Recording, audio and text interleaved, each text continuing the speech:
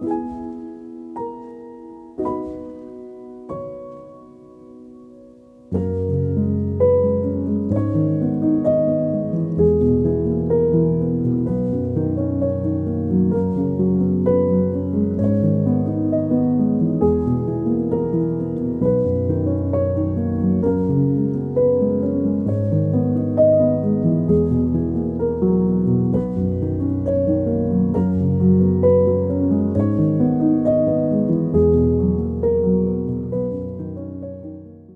One thing that I really love about this page, apart from the simplicity, is a primary focus, concentrate. And so I just wanted to add that here.